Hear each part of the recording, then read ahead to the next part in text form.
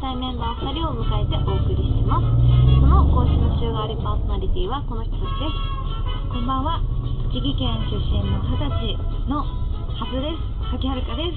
そしてアメリカカリフォルニア州出身の同じく二十歳。着実に大人に歩んでます。北川ゆりです。この先一時停止があります。ご注意ください。私たちは二十はい。歳なんですけど、同い年で誕生日も同じ。